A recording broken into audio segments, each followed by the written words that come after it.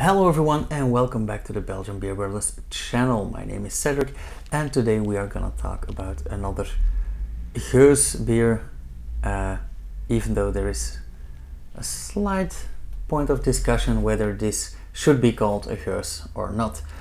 We are talking about Geus Bellevue today. Uh, here in Belgium most people will know Bellevue from the Kriek, uh, Kriek beer from the commercials in dan nu een Bellevue. Um, actually, they started out as Lambic Brewery. No, actually, they were not a brewery, they were a blendery.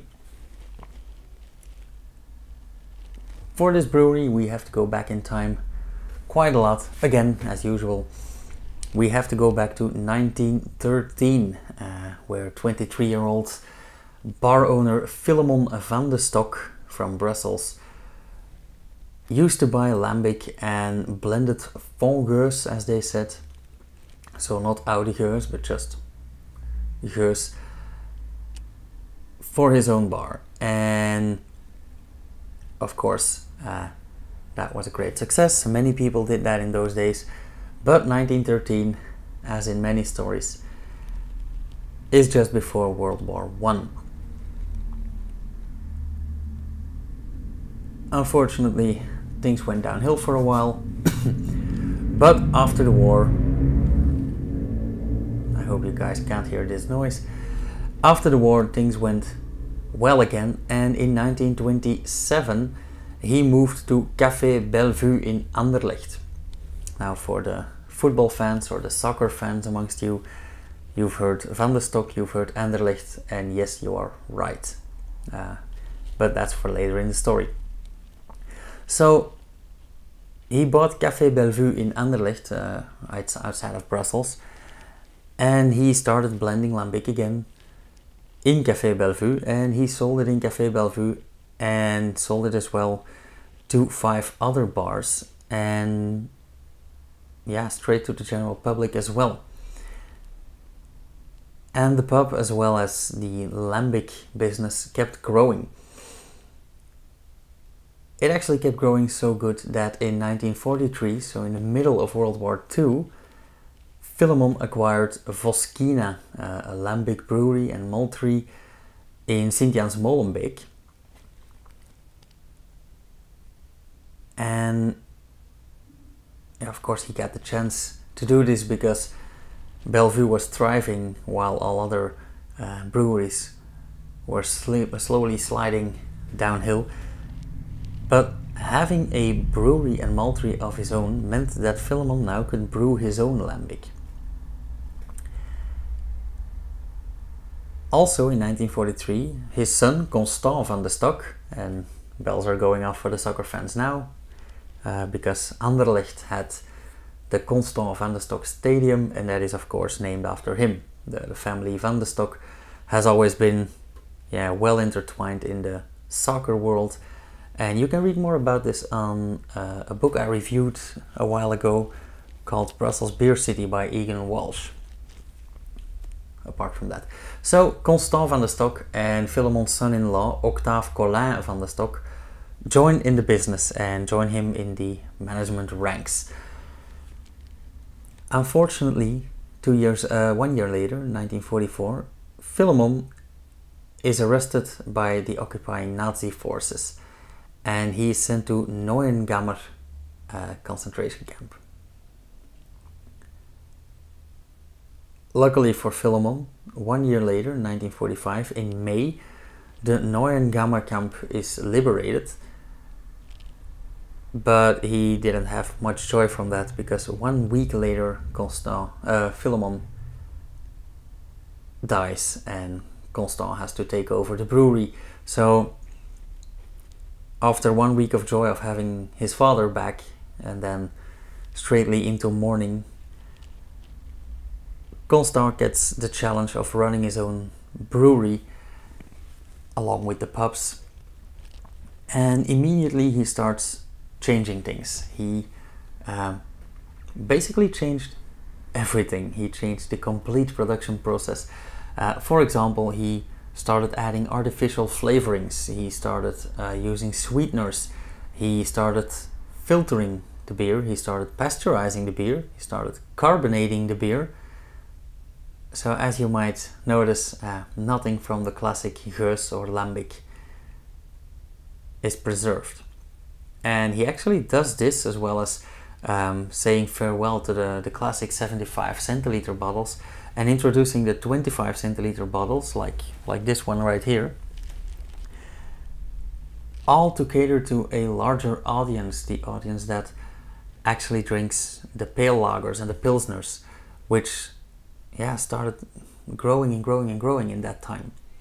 And up until today, as we're gonna see in the next few weeks, uh, pilsner is still yeah, the largest portion of the beer consumption in Belgium and actually all over Europe, I believe. Anywho, so he starts changing all those things, and he actually lucked out on all those changes uh, for one silly reason, and that is because the, the Lambic season 1949-1950 there was a huge heat wave. So as you guys might remember from the Tour de Geus uh, series, Lambic is brewed in winter and then ripened and it takes quite some time. Now that means that fermentation still goes on with the local microorganisms from the air and from the water, from the Zenne. And warmth is actually a catalyst for the fermentation process. Uh, it is an exothermal reaction, so the yeast and the, the microorganisms eat the sugar and then poop out alcohol and carbon dioxide, CO2. And in the process, they generate heat. But if you introduce heat to this process up into a certain uh, temperature, remember low fermentation, high fermentation, about 16 degrees, about 26 degrees. But you can speed up this process by introducing warmth. Now, too much heat and your yeast will start uh, secreting byproducts that you don't want, some other esters and some some uh, yeah flavors that we don't need and don't want, like cat pee and ammonia. On the other hand, this can speed up this fermentation process so well that they start producing so much carbon dioxide and so much pressure in the bottles that all the bottles will start exploding and that is exactly what happened with almost all of the competitors in the 1949-1950 season. So while many many breweries suffered from uh, yeah popping corks and exploding bottles, Bellevue was the only years that was pasteurized, meaning all the microorganisms were killed off and there was no re-fermentation. So the bottles didn't get reactivated and they couldn't explode because the pressure in the bottles was constant.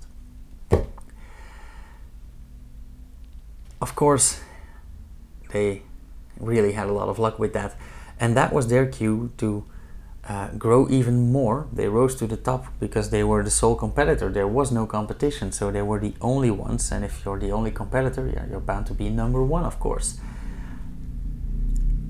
That also drove them to raise production and start selling across the whole country and even export to France and the Netherlands.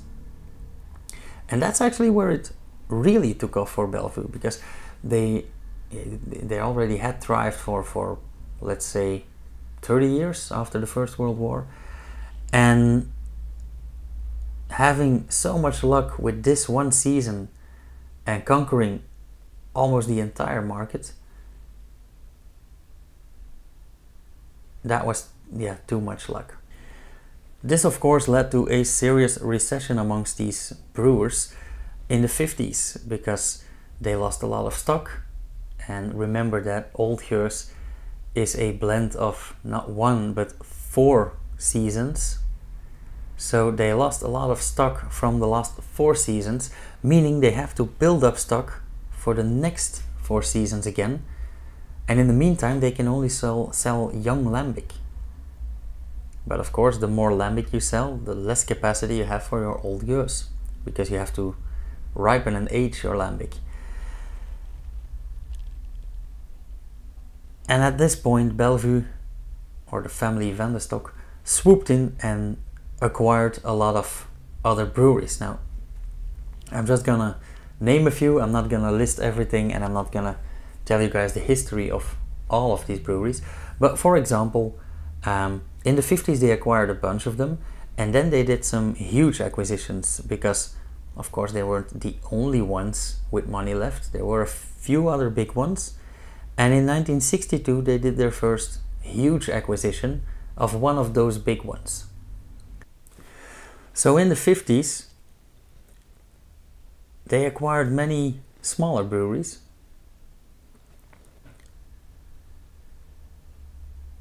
Meanwhile, growing their capacity. And in 1962, Constance's son Roger and Roger's cousin Philippe joined the brewery. And that's where it all starts getting really uh, yeah, easy for the Bellevue family or the, the Van der Stok family. Because, of course, in the 50s they weren't the only ones with money left. There were a few other big ones. And Bellevue, as well as those others, started munching up all the small breweries. But in 1969, they had a, a real breakthrough and they bought Les Brasseries Unies or the United Breweries. And as the name already tells you, um, these were already some United breweries, namely um, De Boek and Golsens. Those were two larger breweries that had together already acquired brewery De Kroon, Touzin, De Koster, Heijmans and Van de Kerkhoven. So these are actually seven of their competitors that they pick up in one swoop. And then in 1970, one year later, they bought uh, Barbux. And Barbux is also one of those thriving uh, breweries at the time. And they already bought the Keersmaker, Van Hale Kosch, Bekas Steppe, and Van de Perre. So another five. They are combined with the others that they bought in the 50s at this point, in 1970, they owned about 75% of the lambic production in Belgium.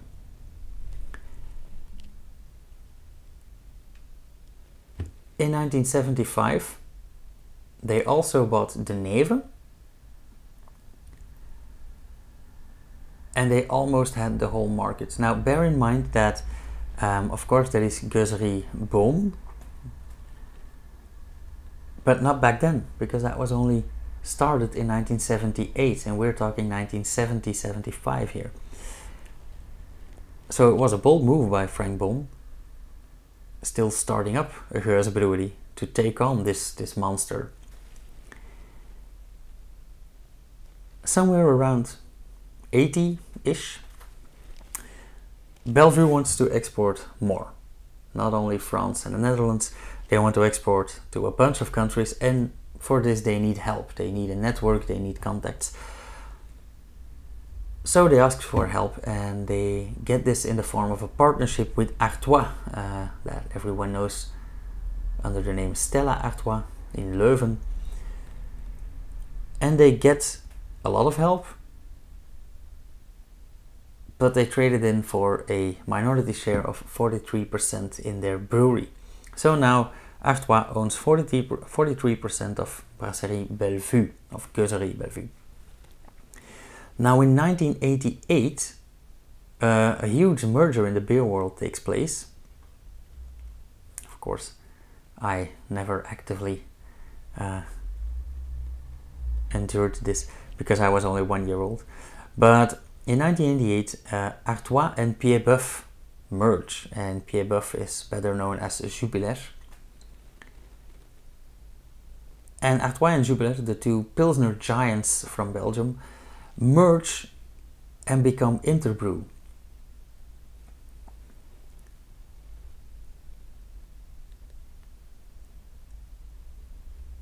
While starting Interbrew, they also buy out the Van der Stok family. So this is where the, the story of the Van der Stok family in the beer world ends, or at least in Bellevue ends. Now, of course, Van der Stok, uh, the family still had a lot of political influence and were involved in soccer and a lot of other ventures, uh, but they were bought out of their brewery. Today, a lot has happened. Uh, Interbrew once was the biggest Belgian brewery. Um, they still have that reputation, although they are actually not Belgian anymore. They are, dare I say, Brazilian, because now they are AB InBev or Anheuser-Busch InBev, and they are, yeah, not much more than a conglomerate uh, investment group buying and selling, and yeah, ruining basically breweries. Of course, since Bellevue is not because they are owned uh, by AB InBev, but because they actually don't have anything to do with traditional lambic brewing. They are not a member of Horal, nor will they be in the future. Why do I say they have nothing to do with the traditional brewing process? Well, because they actually changed the process completely. You can think about this what you want. And actually, it's not really a stupid move, but during fermentation, or actually after brewing, they don't use a open coolship anymore. They actually cool their beer like any other beer in a controlled way over a heat exchanger. The cooled beer goes into a tank and inside that tank uh, compre compressed air from outside is introduced. But normally we filter the air we, we sterilize the air and in this process the air is not sterilized. So the, the cooling down over a heat exchanger and then introducing compressed outside air that's called as the DKZ method or the Keersmaker-Zuhn method and the Keersmaker and Zuhn are the two researcher uh, researchers that developed and introduced this method. What Bellevue also does during this step is add in some uh, older aged lambic to the tank. And that actually only has one reason, and this is because in a uh,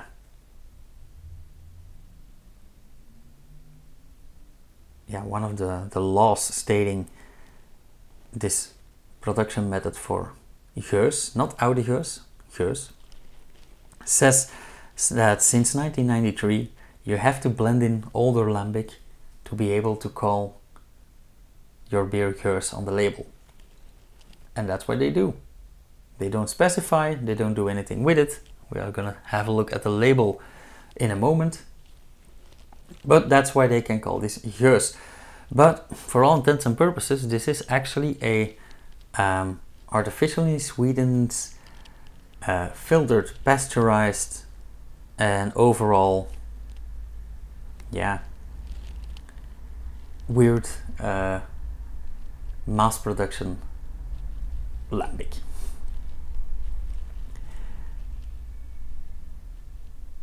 Little fun fact, um, when they started exporting to France, the Bellevue name was already trademarked. And there the, it's sold under La Bécasse. Uh, La Bécasse is the name of a Brussels brewery that they took over way back in the days. Um, but if you have La Bécasse Geus, it's basically the same, it's just differently labeled. Now if we take a look at this label, it does have the new logo. Um, but it still says Geus Lambic aged in barrels. Okay, let's believe that.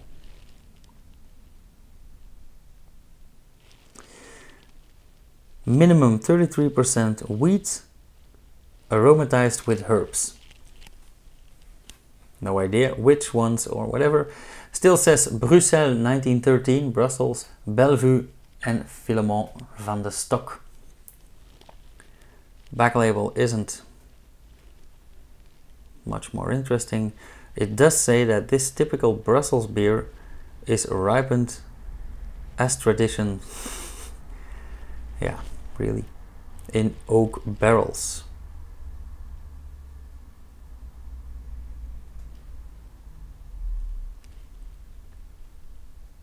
Aromatized with citrus peel and coriander. Okay. I am very curious. Now, about the glass, this is uh, actually a yeah a merger between a flute and a classic lambic glass. It has a thick bottom, also not that thick. Uh, quite thin glass, but I like the tulip form. But these days, um, Bellevue is actually served in more like a Pilsner glass. And way back in the day, so I'll put a picture somewhere here, they had some weird shapes of glasses and they had all kinds of glasses. So, a sweetened pasteurized lambic Geuze. Okay, got interrupted there for a second. Let's have a taste.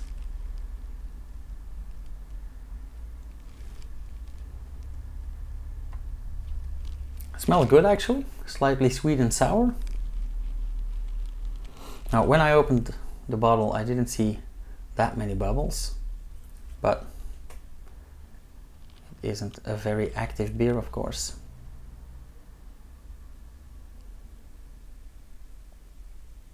Very nice head of foam. Of course, that's one of the reasons why I love this kind of glass it has this shape that makes the foam come out very very nicely. It has the lovely colors.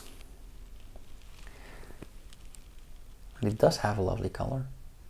It's a very golden brown ale golden yellow dark yellow slightly off-white foam some nice purling.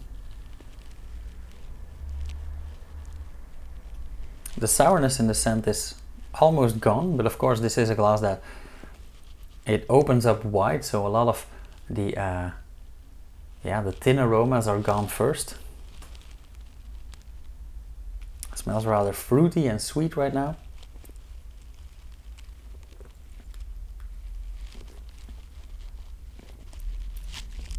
But there is quite a bit of sourness in the taste left. Um, it's not a sharp sourness, it's not acidity.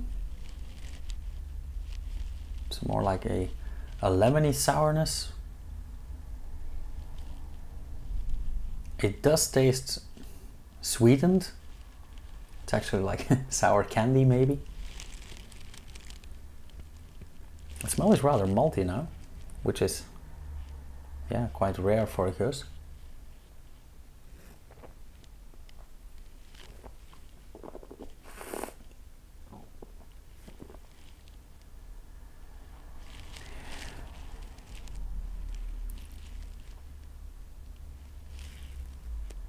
I might not have served it as chilled as I should have, but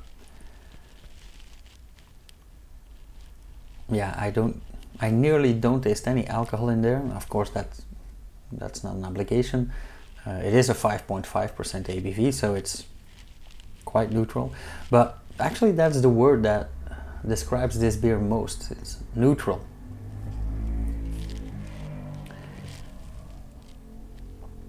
It isn't a geus only by yeah by some legal trickery and I would actually not even recommend this as a starter Geuze. Uh,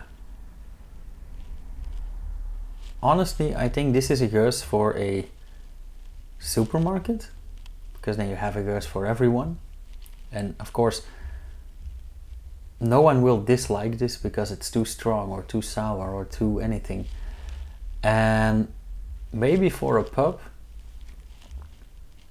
just to have a Geuze in your range. Um, but honestly, most pubs where, that I work with, I recommend Huis Boon uh, because quality and price, it is the best. but this, yeah, I would personally. I'm not gonna pour it down the sink. It's too nice to pour down the sink. Uh, but I am not gonna buy it again, and I am not gonna recommend it to affiliates or to colleagues. Um, actually, uh, one of our viewers, one of our beer brothers, uh, suggested to maybe start scoring beers. Um, and since I actually do in Untappd, maybe I should just start telling you my score here. And of course, the scores uh, can depend, and that's mainly why I don't do it uh, up until now. Scores can severely depend on